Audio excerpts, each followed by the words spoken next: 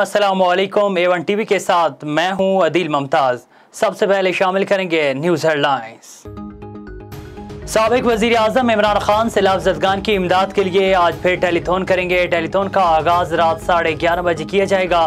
दूसरी जानब वजी अला पंजाब ने जहाँ बाक अफराद के वर्षा के लिए इमदाद बढ़ाकर दस लाख कर दी। तबाह होने वाले घरों के मालकान को भी माली इमदाद दी जाएगी। तोहन अदालत केस जस्टिस अतर मिनुल्ला का हर फैसला कबूल करूँगा। इमरान खान कहते हैं, चीफ जस्टिस अतर मिनुल्ला की अदालत ने हमेशा ज़बरदस्त फैसले किए।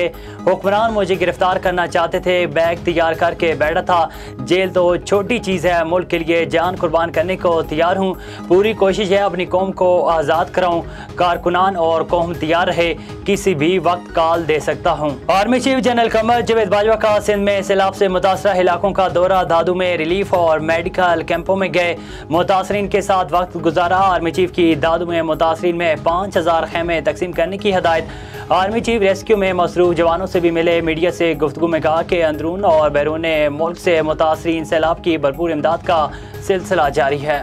सैलाब की वजह से पाकिस्तान में इंसानी अलमिया जन्म ले रहा है, जो तबाही देखी बयान करने के लिए अल्फाज नहीं है। पाकिस्तान को बड़ी इमदाद की फौरी ज़रूरत है, सेक्रेटरी जनरल अकवा मुतहदा एंतोनियो गोतरेस कहते हैं पाकिस्तान मौसमियाती तब्दीली का जिम्मेदार नहीं, लेकिन कीमत चुका रहा है। तबाही के जिम्मेदार मुल्कों को चाहिए खराबी ठीक करें। एंतोनियो गोदरेस दो रोजा दौरे के बाद वापस रवाना। और मंचर झील के सैलाबी पानी की तबाहकारी दादू के बाद में शगा पानी दादू और बान सईदाबाद में दाखिल मुतासरीन के लिए कायम खैमा बस्ती भी डूब गई। दो हज़ार से जायद मकीनों की नकल मकानी एक सौ बत्तीस के वी का गढ़ स्टेशन भी जेरियाब आ गया। सक्कर और गुडू बैराज के मकाम पर दरिया सिंध की सूरत हाल नॉर्मल।